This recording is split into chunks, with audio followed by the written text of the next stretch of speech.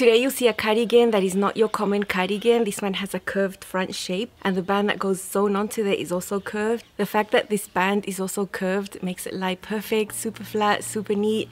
I'm showing you how to sew it and look at my Ponte knit. It's a beautiful print. Stay with me. Hi sewing friends, I'm Karina from liftingpinsandneedles.com. Welcome to this channel that is all about sewing, limitless sewing and you will see a lot of sewing today. Although the sewing segment is not too long, it includes all the important parts that you need so that you can make yourself this super cool cardigan as well. What I'm talking about is the new Fraser cardigan from Love Notions. Most cardigans are an open front, but then they go straight and towards the hem you have some sort of straight angle there. This one's different, this one's curved, and I really like this. Now, you might have seen other cardigan patterns that do have that curve on the front, but what's attached to that is just a rectangle band, and that usually creates a lot of puckers, and it's not a really nice, neat look. The difference with the Fraser cardigan is that the band that goes attached all around the cardigan, or around the neck, at the back, down the front, follows the curve on the front there, goes all the way around the back, it's curved two layers there so it's gonna look really flat really neat you can sew that band as a regular band or you can also add a hood. When you add a hood, you have an extra piece on the top. The band also includes the top of that hood there. A little bit different and a few more steps than if you're just sewing the regular neckline that doesn't have the hood. You have long sleeves, you can hem the sleeves normally by turning it up and top stitching, or you can cut your sleeve shorter at a cut line there and add on a cuff. There is a center back seam for shaping. I love that. I always appreciate that. At the back, it should cover your bottom. Now on the sides, you will see some pockets. They are so easy to sew because it's just basically one piece that you sew onto the front piece that you baste on the edges and then the edges of the pocket will be caught in the band there. So it's really really easy to put together. Because the Fraser cardigan is a new pattern it is 25% off during the release week. So if you like the style and you want to give it a go it's always good to get it when it costs a little bit less.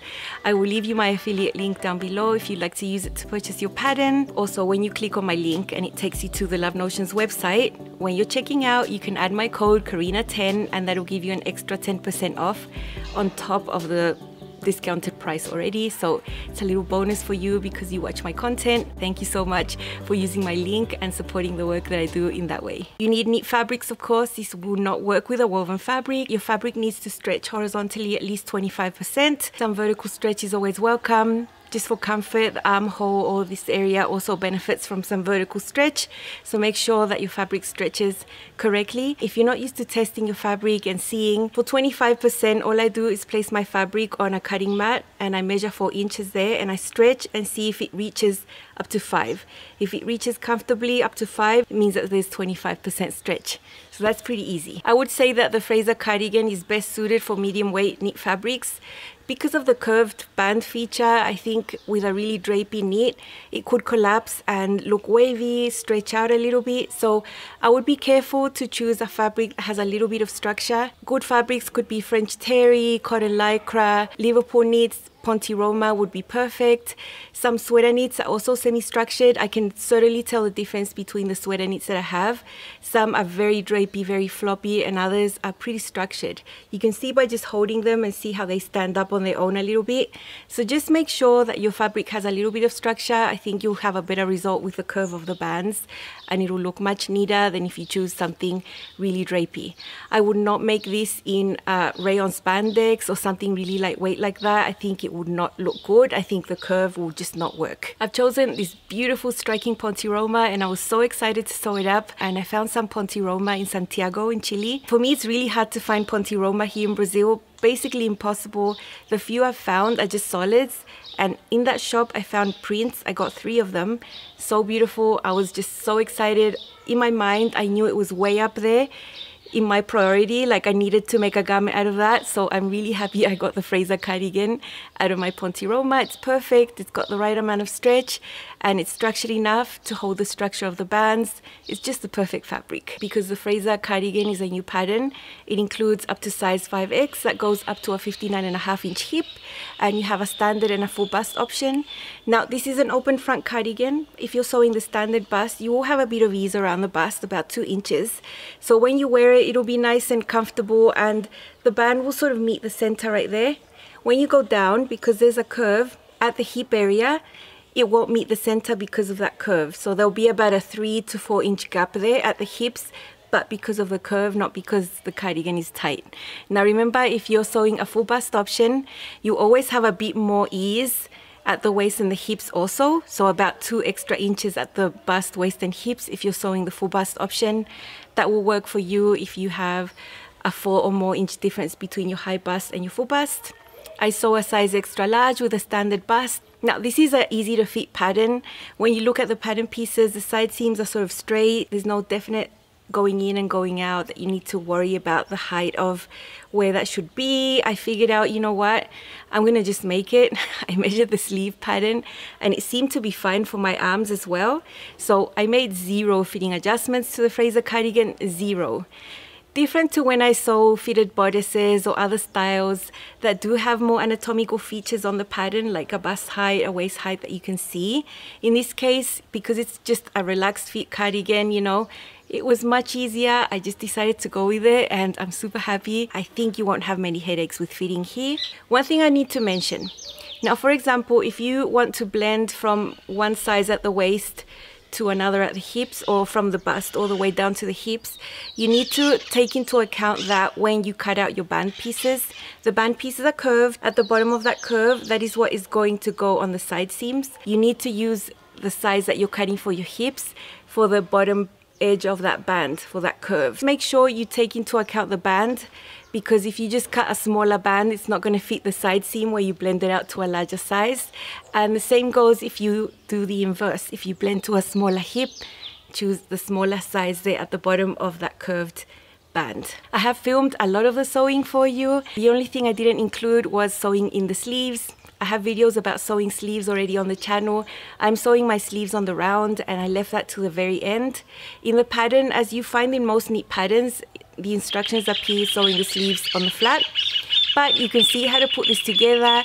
I am sewing it a little bit differently, maybe not what you expect. I still have a special relationship with my serger. For me, just because I'm sewing a knit, it doesn't mean automatically I'm going to sew all my seams with the serger. I go on a case by case basis and I just assess each fabric, what's going to look better. You see, I'm not sewing on the serger.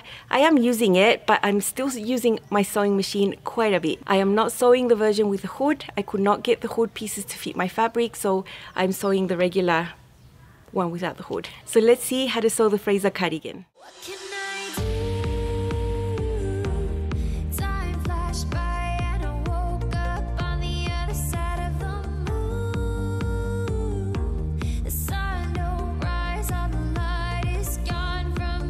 These are all the pattern pieces for the Fraser cardigan. Over here are the main pieces. This is the back, it's not cut on the fold. There is a center back seam with some shaping there. This is the front piece, you can see that it's curved like that. And the piece that you see right on top is actually the pocket. That is the band that finishes the top of the pocket and it's the easiest pocket you could ever sew because all you need to do is sew the band to the pocket and then baste the pocket onto the front and carry on as normal then you put your hand in there. You have a regular sleeve. You can see the typical type of armhole shape.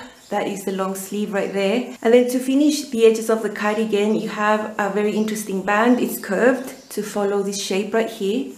So that little piece that you see up there, there's two of them and that finishes the back part of the neckline. Then following the front of the cardigan, you will have this long curved band. You need two pairs, that's why there's two there and two there, they're mirrored for both sides. And then this one is the band that finishes the bottom of the back. So there are three band pieces, all of them get sewn together and form a type of oval shape first and then you sew that onto the edge of the neckline and that finishes the neckline and the front and the bottom. Super fun. I'll show you a little bit about the notches on the bands that are going to help you put it together and not get confused. Okay, here we have the bottom band it's like that but I'm just scrunching it up so it fits on the frame. And you have the front bands that finished quite curved there. Here you'll see a single notch and you'll see a single notch there. That helps you put those together without any confusion. When we go to the top of the band here you'll see two notches there two notches there. And on this small back neckline band you also have two notches there and two notches there. So it's very easy. It's like putting together a puzzle. My chosen fabric is Ponte Roma. It's medium weight I think it's a little bulky to serge together so I have gone ahead and serged the edges separately first and I'll be using my sewing machine to sew the seams and then press them open.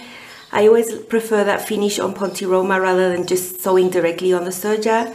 So it might take me a little while longer. Same as with this center back seam. I'm always happier to have it pressed open than serging it together and then pressing it to one side just because the fabric can get a little bit bulky like that. This is the shape of the pocket super easy. It's going to be quite a large pocket. This is the pocket band. Now if you measure from here to here you'll see that the band is a little shorter. That's fine because it will help the pocket not gape. All we need to do with this band is fold it wrong sides together like this. Pin it here and then stretch it to match the top and serge it on and then you fold it up. That's it. And I'll be top stitching it flat and that's how you finish the edge of the pocket. It's extremely easy. Just being careful to keep all the raw edges together at all times and go stretching only the band not the pocket that's underneath while I sew them together. That's how it looks. When you press it, it's going to lie flat. Just press the seam allowance down like that. What I'm going to do is some edge stitching just to keep this nice and flat. I like to do that with medium weight knits when I can. And then you just repeat the same for the other pocket. I'm using my blind hem foot with a needle to the left and this always gives a really perfect edge stitch. Always looks super neat. Keeps it flat. Here is one of the front pieces and I have hand basted the pocket on so on the side seam, what I did was just serge it on because I'm going to be having the side seam serged separately. So that fixes that edge of the pocket in place. But from there, all around this curve, I hand basted it to keep it in place. There you can see some huge stitches. It's just transformed this piece into one and this is how you're going to put your hand in your pocket. So you can forget about the pocket now. All along this curve, there will be the band here and that will catch the main front and the pocket at the same time. Super clean finish, super easy pockets. Here I'm just sewing the center back seam, a really long seam. There is some shaping there, so I would always appreciate that. I wouldn't try to eliminate that. I had serged the edges previously. I'm very happy with how this looks. Super flat, super neat. And I don't think I can achieve that by just serging them together in one go and then pressing it to the side because the bulk is more. So I'm happy, I like sewing ponte like I'm sewing a woven basically. I would not sew it directly on the serger. I always like using my sewing machine and I'm using a shallow zigzag. It almost looks like a straight stitch, very neat. I've joined the back and the front at the shoulder seams. I'm going to sew that now. You can see at the back I've used a little bit of interfacing right on the edge and that's just to stabilize. I would not skip this.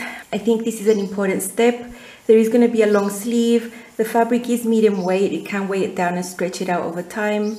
So because I'm sewing this separately, and this is going to be pressed open, I thought interfacing was the best way. If you are going to serge it together, then you can use clear elastic or a piece of ribbon. There are many ways that you can stabilize. My shoulder seams will also be pressed open and you can see that when that's pressed, that piece of interfacing will be hidden so it won't be seen, it's not ugly and it's really stable. At this point, you would sew your sleeves in on the flat if you're following instructions, you know that that is not something I ever do, so I'm just sewing my side seams first. I'll actually leave my sleeves for the end. I'll put those in after the bandies. I think it would be easier that way. Two more pretty long straight seams. Press these open, then I can set this aside and start putting the band together. What I'm going to show you, you're going to do twice with the two bands. One's going to be inside, one's going to be on the outside. So I'll just show you once. You get your long band pieces and you get the curved edges to point outwards like this. That's how you put them right sides up. Then you take your small back piece and this is what's going to meet those seams over there. Then you take your bottom band piece. This has a curve going up, it's light, so make sure you get it correct. Don't put it with the curve facing down, it's going to be like this. You can see the slight curve. This is what is going to be sewn onto this side and then this side over there. Pin it and show you how it looks. Here on this bottom band, you can see the single notch matches the single notch on the front band. So that helps you put it together. Same here on the other side. And on the top, you have double notches double notches and that helps you put that together. Whatever knit you're using, I would suggest you sew these with a sewing machine and press it open, it'll be way less bulky than trying to serge it, in my opinion. And then you repeat the same exact thing for the other set. There are four little seams to put one of these bands together. Then when you do the other one, there's four more. So there's eight little seams. The seam allowance is 3 eighths. After sewing this, I'm just gonna press these open, tidy it up, and then two bands go sewn right sides together.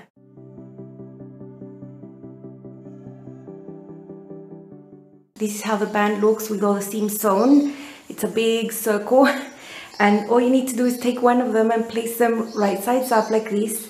and then take your second one and place it on top right sides together. I'm going to take my time and pin them matching all the seams very neatly. And then it'll be one super long round seam sewing the outer edges of this band type circle. The inner edges will be left raw because that's what's going to be sewn onto the edges of the cardigan. I'm going to be sewing these two band pieces also with my sewing machine and then I can snip into the curves. I think it'll be neat like that. I'm using a longer stitch length also because I think that prevents the fabric from stretching out too much. There are curved areas here so you really don't want to stretch these out. I really don't want to sew them together with a serger and then flip them right sides out. I prefer to do it with a sewing machine. It's a really really long seam. Careful to match all the seams together for both layers of the band.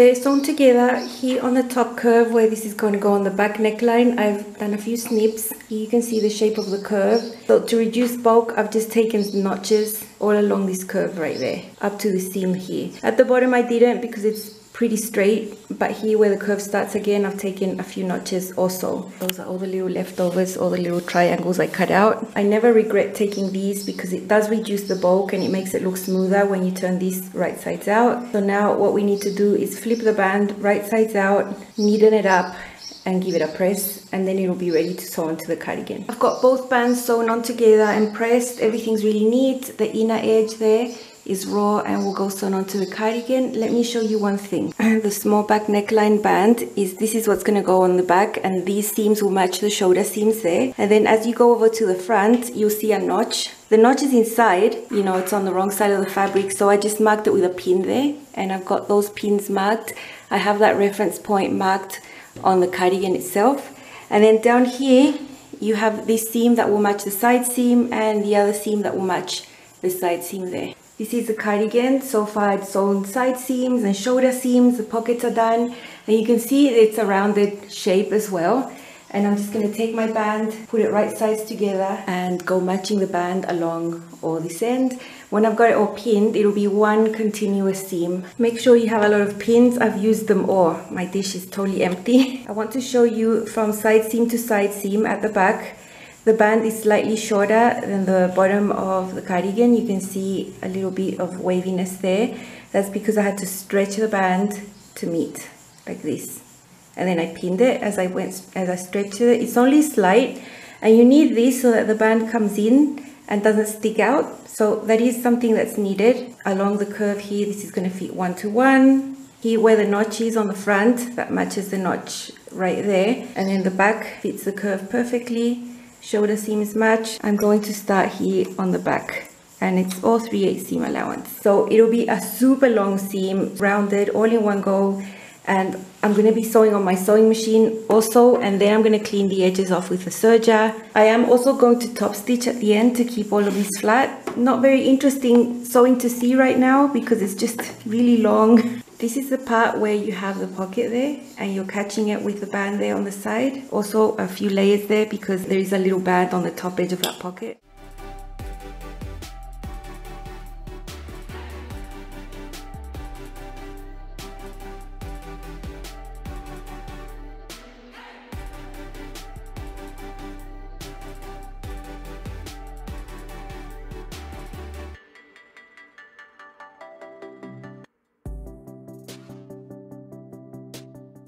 Okay, so that seam is done. I'm gonna tidy it up and clean the edges with the serger. Now you can see on the band that there's some hand basting there. I did that to be able to just turn these right sides out properly and I was rolling the seam with my hand so that it was really flat and hand basting that. It always gives me a neat result. I find it better than if I just go straight to the iron and try to do it while I burn my fingers. So that's what that is. I'm going to remove that when I'm done. It's serged. It looks really neat.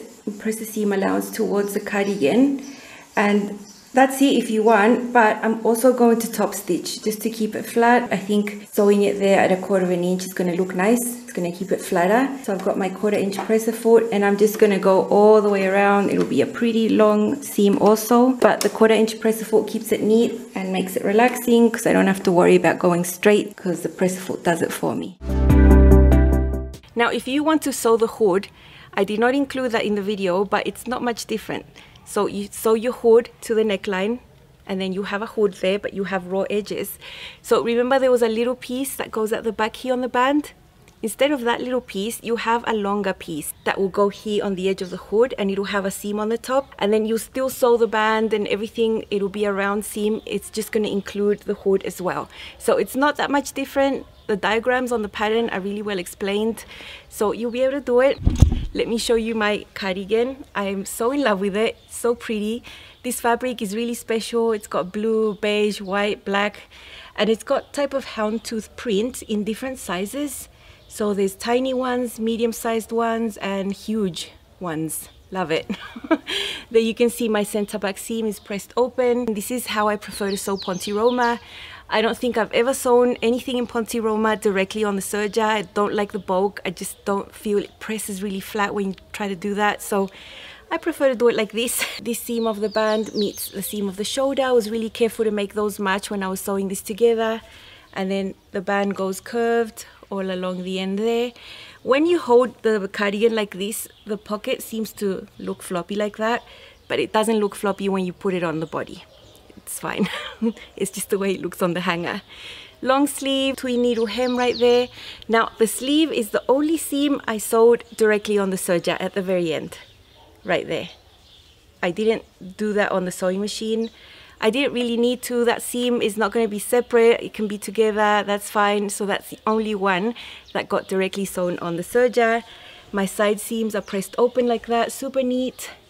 The band you can see is double. So, so well made. I love the band like that. It's curved. Matches everything perfectly. So nice. Really, really different. I love that the band is curved because whenever I see in patterns that you have to sew on a rectangle onto a curve, I'm like thinking inside, no, this is just, you just can't. It's gonna pucker, it's gonna create like a bulk there and then it's just, it, it just never looks right. But this curved band does look right. It's really nice. Pockets were really easy to sew. That band, you just press it, put a lot of steam, and then this band is a little bit shorter, but it keeps the pocket close to the body and it's not gonna flop open and it's quite a large pocket. It's pretty large. It's gonna fit a lot of things. I'm never going to use the pocket. And when I make this again sleeveless I'll probably make it without the pocket because it doesn't really need to be there. I mean it does if you love pockets but if you don't really care for pockets you can just not put it there and it won't change anything. Now I don't think I've ever sewn a cardigan with bands that I have not top stitched because I think when you're working with heavier fabrics, medium weight fabrics, the top stitching there just keeps it really flat. I find that if I press it, it'll look okay, but not as flat as it could be. And also using my quarter inch presser foot makes that top stitching super easy, super relaxing, and it looks so neat.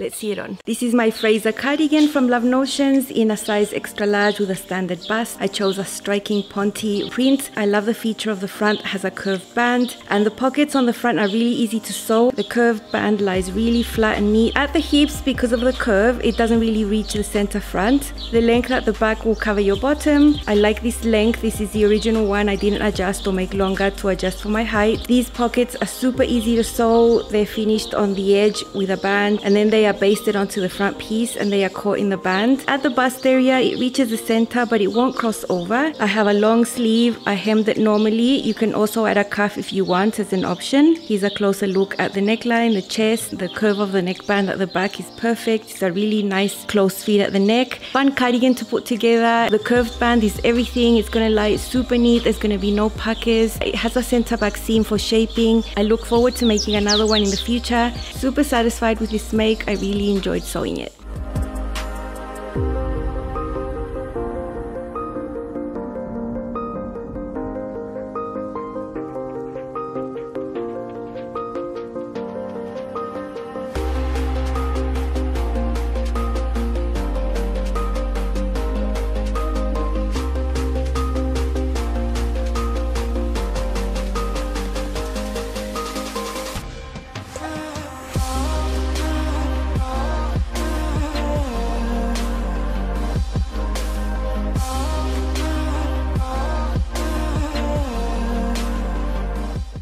Know I'm gonna make this pattern again.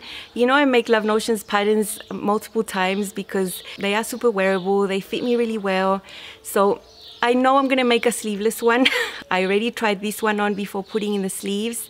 And I know I need to do a tiny, tiny tweak here and there to make this armhole a little more closed. But totally doable, totally possible to just put a bit of binding in there. And then you can have a cardigan that's sleeveless. It's more practical for me sometimes. Remember that the Fraser cardigan is 25% off during the first week got a lower price, so it's a good week to get it. I will leave you my affiliate link down below if you'd like to use it. I always appreciate it when you do use it. It's one of the ways I make an income by making all these videos on YouTube. So I really, really thank you for using my link. Always remember to use my code Karina10 altogether at checkout, and that will always give you an extra 10% on top of the sale price that you see there already. So that's always great. I hope you have a great start of your week. I have a really busy week and I'm excited about all the things I'm going to do for the channel this week. So expect to see a lot of me this week. Thanks for stopping by. I'll see you again very soon. Bye.